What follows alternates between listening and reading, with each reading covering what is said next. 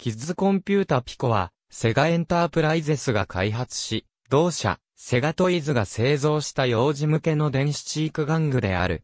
セガエンタープライゼスが1993年に発売した幼児向けの電子チーク玩具で、セガ時代はトイ事業部が担当していた。発売当初のメーカー希望小売価格は、税抜き1万6000円。1998年以降は、当時のセガ市会社で、玩具部門を担当する、セガトイズに販売を移管した。2001年6月1日には、同性能の改良機を発売するとともに、機器名称を、キッズコミュニケーションピコに変更した。略称はピコ。タッチペンによる、操作、絵本上のページがついた、ソフトウェア、テレビ画面と絵本の連動遊び、テレビ画面を利用した、お絵描き遊びを特徴とする。キャッチフレーズは、楽しく遊んで、知力すくすく、遊びが、学びの最初の一歩など。同社から発売された、メガドライブのアーキテクチャを転用した、電子玩具。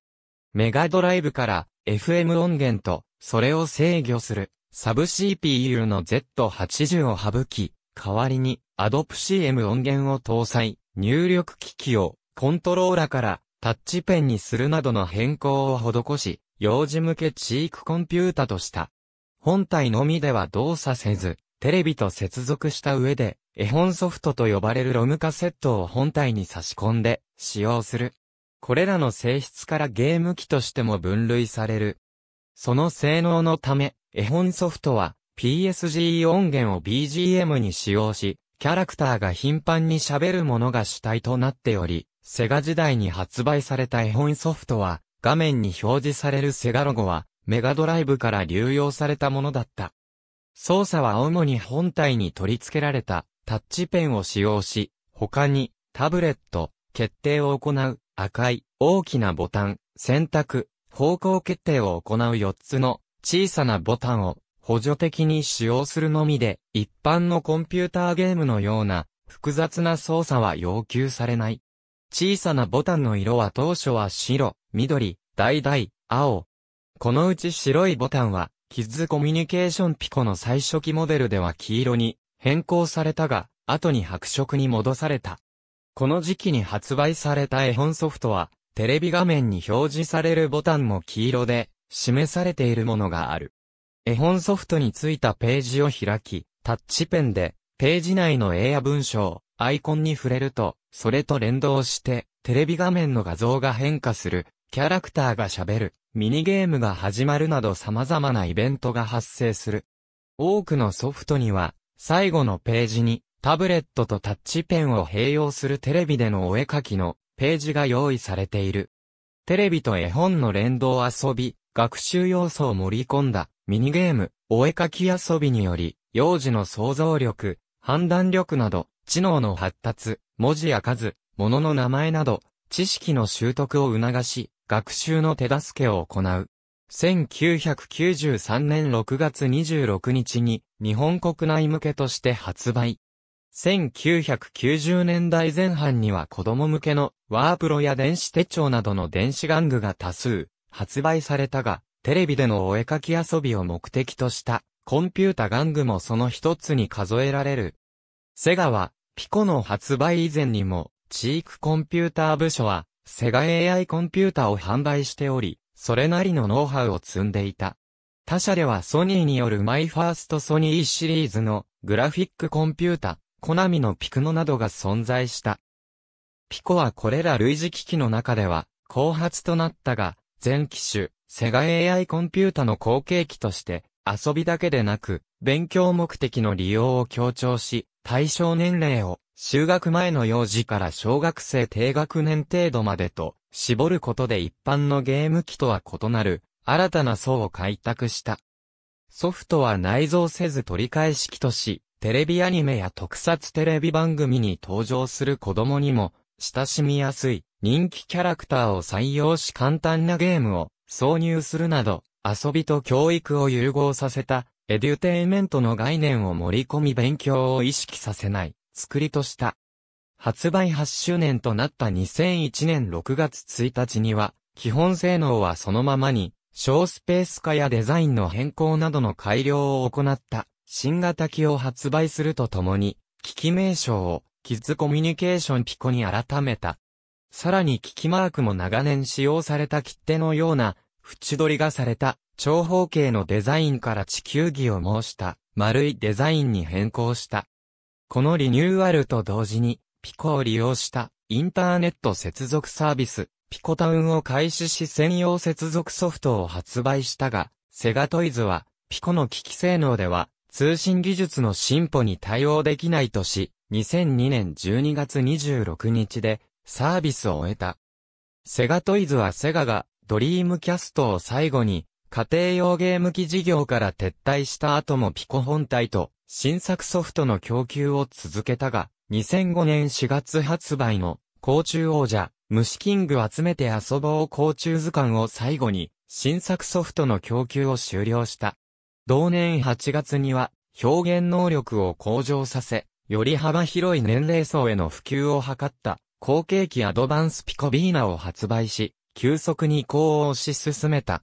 新作ソフトウェアの供給期間は、日本国内のセガのハードウェアでは最も長い約12年間となり、本体の累計出荷台数は約340万台に達した。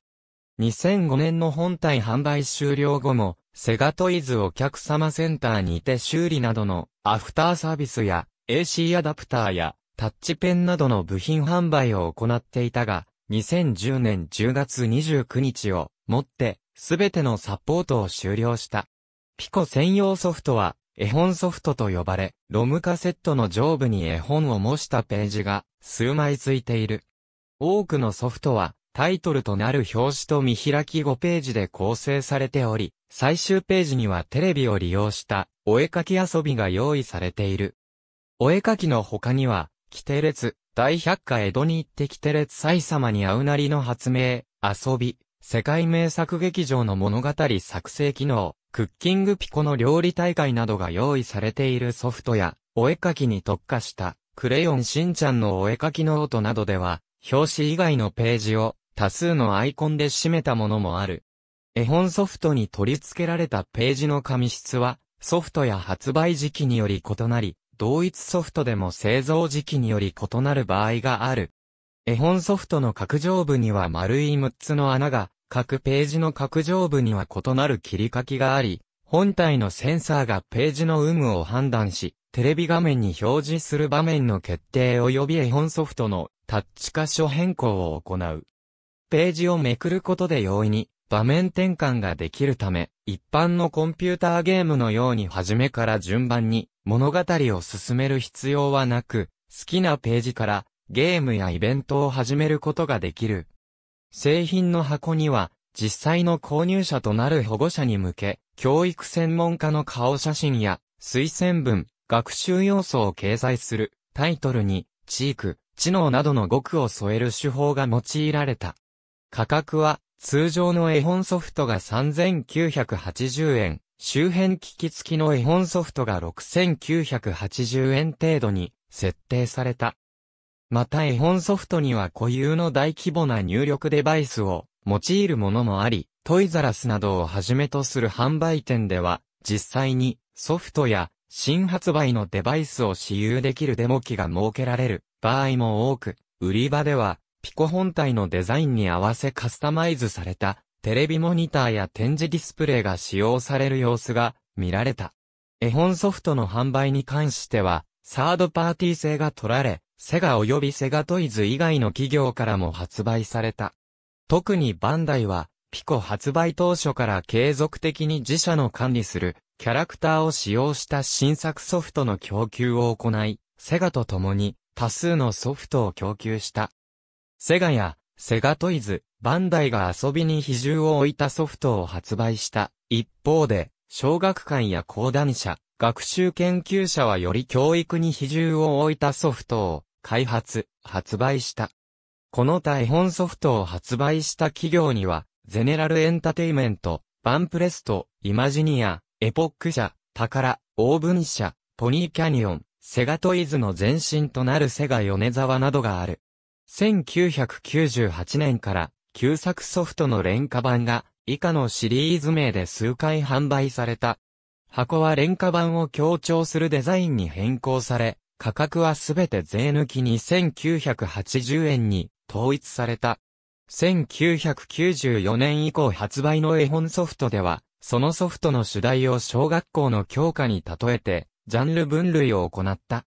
ひらがなやカタカナの学習を主題としたソフトは、国語、数字や計算、図形の学習を主題としたソフトは、算数、動物の生態や天体の学習を主題としたソフトは、理科、歴史や地理の学習を主題としたソフトは、社会科、スポーツゲームは、体育と分類される。その他学習要素の薄いソフトのジャンルは、放課後とされた。1998年以降は強化による、ジャンル分類を廃止し、対象年齢、主要な学習要素、学習、または遊びのどちらかを示すアイコンがパッケージ表面に示された。ピコ本体は長期にわたる販売時期からコストダウンと低廉化を目的としたモデルチェンジが繰り返された。本体の種類は大きく以下の3モデルに分類できる。いずれの機種も AC アダプタ、テレビと接続するためのケーブルが同梱され、タッチペンはあらかじめ本体へ取り付けられている。ピコの互換機としてヤマハからは、ミクストブックプレイヤーコペラが、イマジニアからは、育脳塾が発売された。いずれも1990年代後半までに、本体、対応ソフトとも販売を終えた。口述の通り、ソフト互換性としては、育能塾イコールピココペラとなっている。1993年12月1日発売。メーカー希望小売価格は、税抜き3万5千円。通称コペラ。メーカー型番は、MMG-1。セガとの共同開発品として、ピコへ音楽教育に対応した機能を追加した上位互換機。ピコ用の絵本ソフトはすべて使用でき、コペラ専用に用意された音楽教育絵本ソフトミクストブックも使用できる。反対にミクストブックをピコで起動しても警告画面が表示されるのみで使用できない。当時のテレビ CM ではピコのお兄さんと表現された。マスコットキャラクターは機器名と同じコペラ。配色は紫がかった水色と濃灰色及び薄灰色を基調とし、タブレット横の操作ボタンもピコより淡い色調にされた。外装は端子部を除きピコの初期モデルと同一であり、拡張コントロール端子の名称で、メガドライブ用コントローラと同様の旧ピン端子が用意されている。ピコと色違いのタブレットシートの他鍵盤の描かれたタブレットシートも同梱された。追加された機能は以下の通り。これらはミクストブック使用時のみ機能する。ヤマハの音楽教室で教材として使用されたほか、楽器店や大手スーパーでの一般販売も行われた。ミクストブックは全10本発売され、本体と同時発売されたミクストブック、メロディランド、コペラのタイムマシン、ドレミファ伝説の価格は、ピコ用絵本ソフトの2倍以上となる税別8500円に設定された。型番は IMC-001。基本性能や外形は、ピコの HPC-0003 と同一の相互互換機で、違いは、本体やタブレットシートの色、ロゴの変更、タッチペンの故障が、ハイパーペンに変更された程度となる。オリジナルの育能塾とは別に、北米版ピコの余った在庫を育能塾として発売もなされた。育能塾ソフトはすべてピコで使用することができ、反対に、ピコソフトを育能塾で使用することもできる。育能塾ソフトの中には、ピコソフトとして再発売されたものも存在し、ピコ版の箱にも、育能塾のロゴが併記された。育能塾ソフトの説明書は、ピコソフトのものに準じて作成されており、構成や注意文、警告文もほぼ同一である。しかしピコソフトでは、楽しむ、遊ぶとされた表現が、育能塾ソフトではすべて、勉強をする、学習するなどの表現に置き換えられ、学習目的の利用が強調された。ただ、育能塾ソフトは、所有者のほとんどがピコユーザーであり、機種としての育能塾はよほど売れなかった割に、キッズコンピューターピコ本体が品薄の状態であったため、オリジナルの育能塾本体の在庫をセガが引き取った上で、前述の通りキッズコンピューター、ピコの HPC-0003A として発売されたので、育能塾ソフトは本体の販売が終了した後も引き続き発売された。絵本ソフトではアニメなどで有名なキャラクターを導入役として採用することが多い。ピコソフトのために独自制作されたキャラクターを使用したソフトや勉強を主目的とし、キャラクターが存在しないソフトもある。本体と同時、または同時期に発売されたソフトは以下の通り。子供世代、親世代の両方に馴染みのある有名なキャラクター、テレビ番組が選ばれた。特に記載のない製品の発売元はセガ、またはセガトイズとなる。セガ及びセガトイズは、ピコ、幼児、低学年向けの教育、教養の総合ブランドと位置づけ、ピコの名を冠した製品を数種発売した。玩具には、ピコウィズメシリーズの名が付けられたものがある。セガトイズ企画原案、コンパイルハート発売の任天堂 DS 専用チーク、ソフトシリーズ。ありがとうございます。